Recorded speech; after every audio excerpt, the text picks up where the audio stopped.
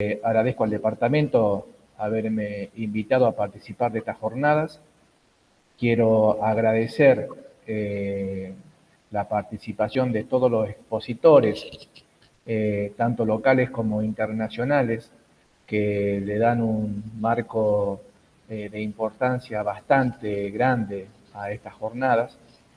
Mirar las experiencias y los conocimientos de otras arquitecturas en cuanto a, los sistemas, en cuanto a las diferentes, eh, a los diferentes perfiles que se, con los cuales se llevan adelante esta, especialidad en otras regiones, en otros países, eh, en otros contextos eh, con diferentes paisajes.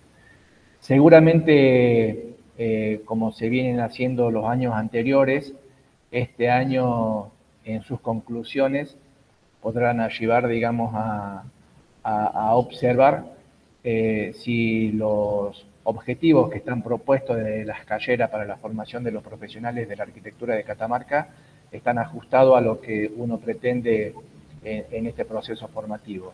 Seguramente va a ser así, soy un convencido de que el conocimiento está en pleno crecimiento y si, y si uno no lleva adelante estas reuniones a donde se exponen los avances eh, en los nuevos conocimientos, uno queda, queda un poco achatado.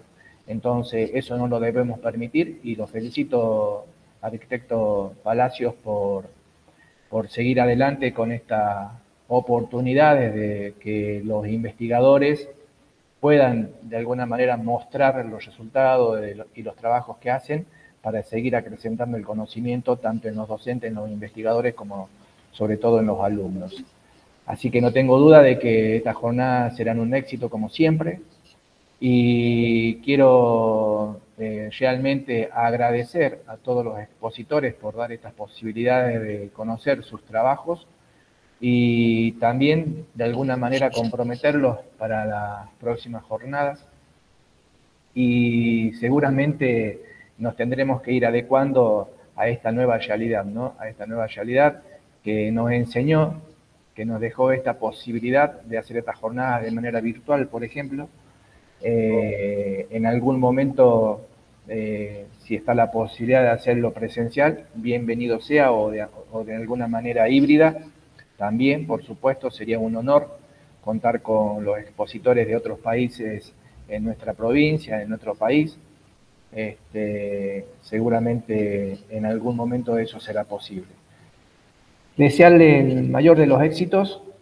Eh, sé que son todos ustedes unos trabajadores de la arquitectura que están permanentemente hurgando y mirando cómo mejorar esta profesión en el contexto de post-pandemia. Lo, lo, hacían antes también.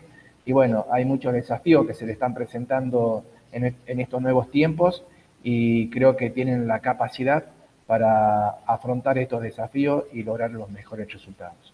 Así que nuevamente, muchos éxitos, gracias arquitecto, gracias expositores y le deseo una buena jornada entre hoy y mañana en estas cuartas jornadas de ciudad y sustentabilidad. Un abrazo para todos ustedes. Bien. Mil gracias a usted por el apoyo continuo, constante, apoyo a la carrera este, y a este proceso de, avance del, proyecto de la Casa de Arquitectura. Bueno, eh, con gusto lo hacemos, arquitecto, usted sabe que tenemos toda la, ficha puesta, esto, a esta carrera la hemos considerado un proyecto y es uno de los proyectos más importantes que está desarrollando la facultad en estos momentos. Eh, recién usted decía que el año que viene eh, puede ser posible que tengamos la primera corte de, egresados de esta carrera. sería este, un gran logro tener los primeros graduados de esta, de esta acá en esta facultad, así que si podemos tener eh, la presencia de, graduados con sus, que estén exponiendo su trabajo de tesis en las, quintas jornadas de ciudad y sustentabilidad, sería un honor.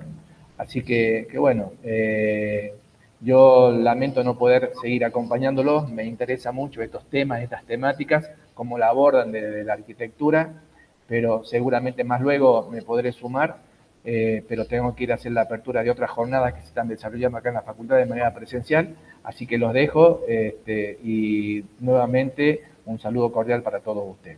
Gracias, arquitecto. Buen día, muchas gracias. Buen día. Bueno, ahora tenemos que esperar que se conecte el doctor.